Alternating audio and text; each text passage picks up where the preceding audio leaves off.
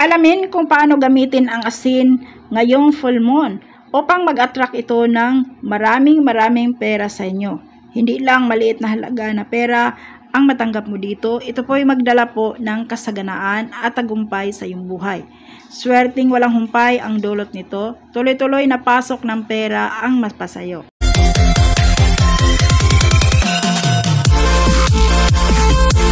Narito ang paggamit ng asin ngayong full moon na ito po ay magdala po ng huge of swerte sa inyo.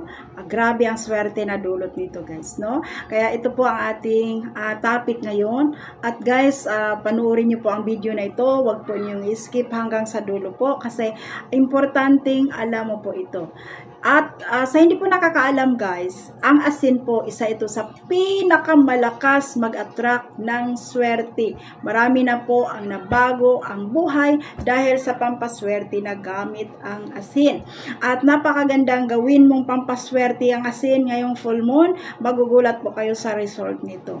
Ang importante dito, positive ka at naniniwala ka na may swerting darating sa iyo. Asahan po niyo guys, unti-unti po yang magbabago ang takbo ng iyong buhay.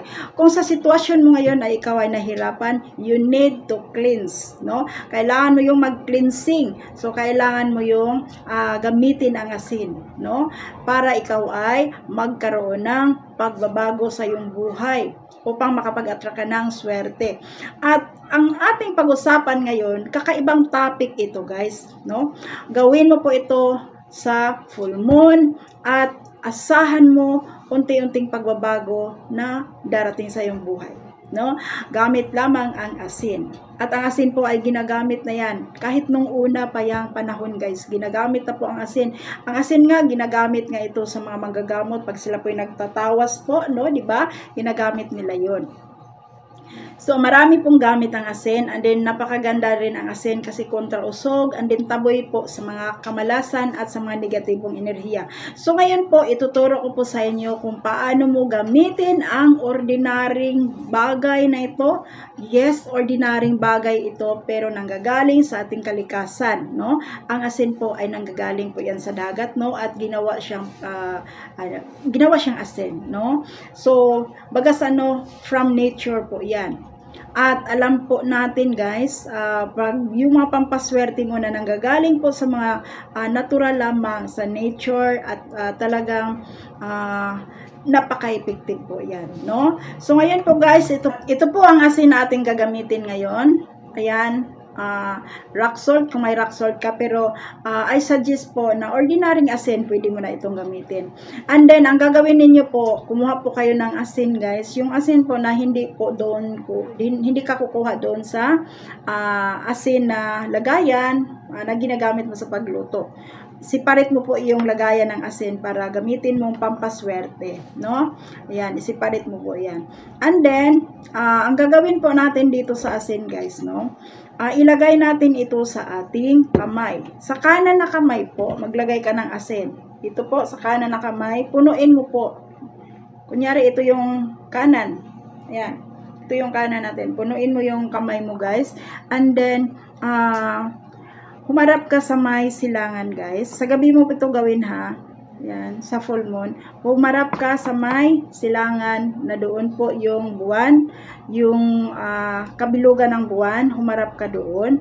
Uh, example po, hindi mo nakikita ang buwan, okay lang po yan. Ang importante, alam mo yon na full moon yung gabi na yan. No? Baka uulan sa inyo, hindi mo makita yung buwan. At sana po, no, makita mo yung buwan, mas maganda po mag-wish uh, under po sa liwanag po ng buwan. And then, uh, maglagay ka ng asin sa kanan na kamay mo, guys. And then, mag-wish ka ng taimtim. Ayan, mag-wish ka ng taimtim. Hawakan mo siya ng paganyan and then uh, mag-wish ka ng taimtim.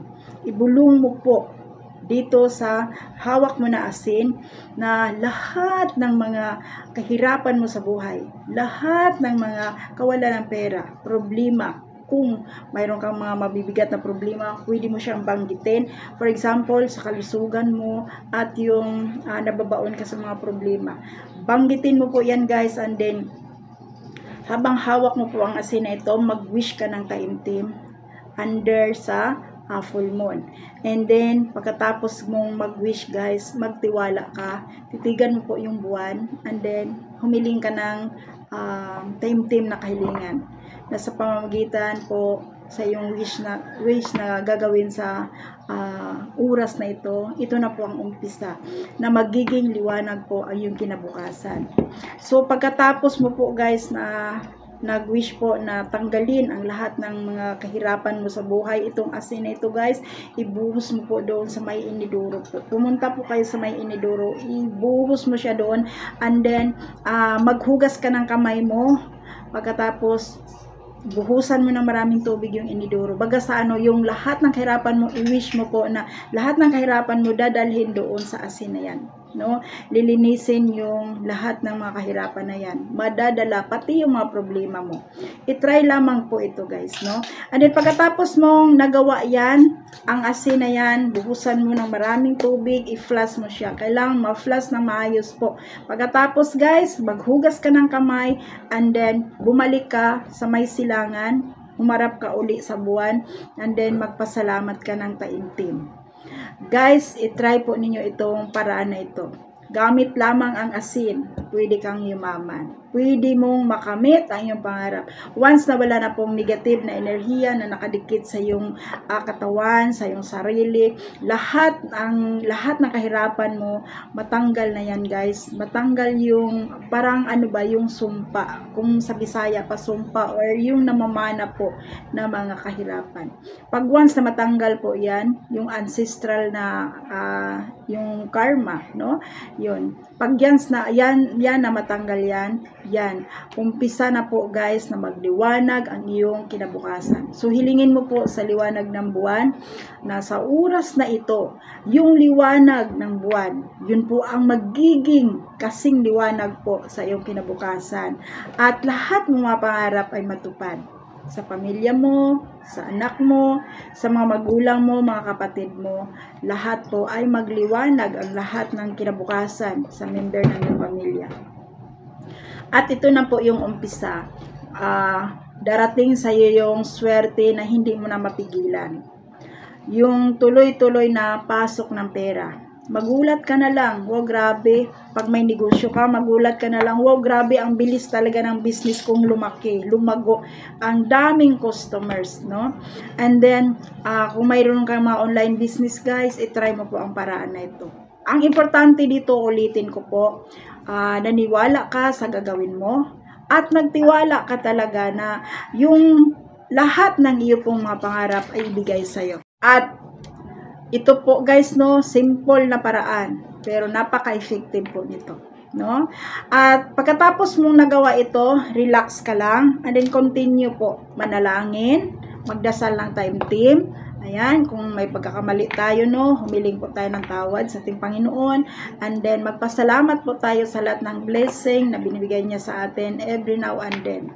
Uh, mostly po guys, sa uh, ganda ng ating paggising, magalusog na katawan, isa din yan na dapat mong pasalamatan.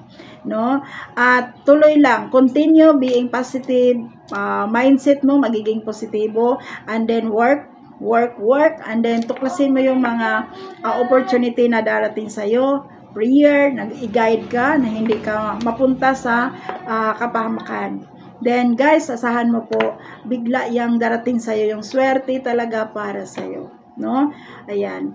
So, sana po makatulong ang ating topic ngayon. So, sa pamamagitan ng asin ngayong full moon, pwede kang yumaman dito ma-surprise ka sa resulta nito. Kaya guys, no, isa din itong uh, gusto kong ibahagi sa inyo ang isang negosyo po na alam ko po na makakatulong ito sa iyo. Depende na po sa inyo guys kung i-grab ninyo. So, uh, basta ako, nag-share po ako nito kasi marami na akong mga kasamahan dito na talagang nakamit nila yung pangarap nila. Yung iba nga, baon sa utang, pero nakabayad na sila ngayon, no? So, maraming mga single parent po na ngayon po, ayan, ah, gumanda ang buhay kasama ang kanilang mga anak. Marami na pong nag-success dito. Kaya guys, itry po ninyo ito.